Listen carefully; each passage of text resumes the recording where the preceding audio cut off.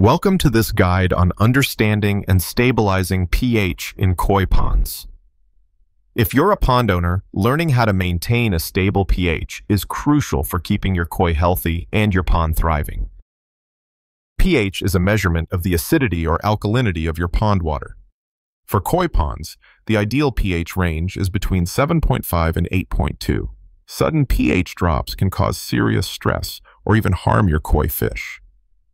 Let's explore why pH drops happen and how to prevent them. Several factors can lead to sudden pH drops, including heavy rainfall, excess organic waste, and low buffering capacity. Understanding the cause is the first step to fixing the problem and maintaining a healthy environment for your koi. Buffering, or KH, plays a critical role in stabilizing your pond's pH.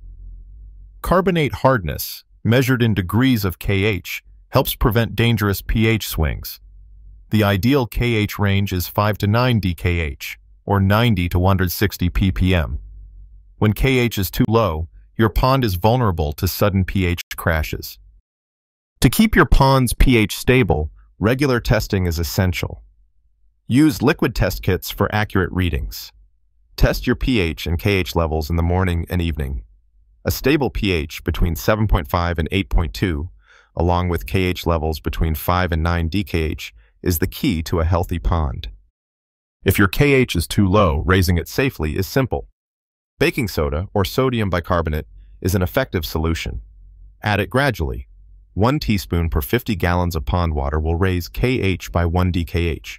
For a 3,000-gallon pond, that means adding 1.25 cups or 300 grams daily to increase KH by 1 DKH. Always test your KH and pH levels after each adjustment.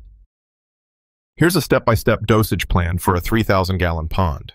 On day 1, add 1.25 cups, or 300 grams of baking soda.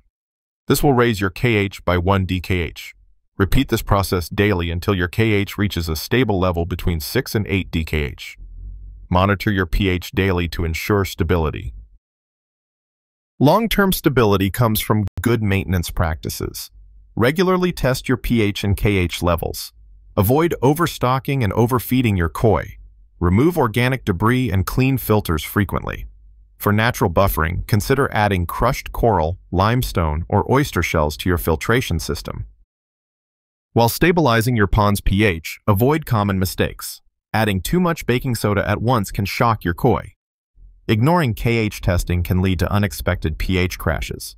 Excessive rainwater and neglected filter maintenance also contribute to pH instability. Regular monitoring of pH and KH is the key to a healthy and thriving koi pond.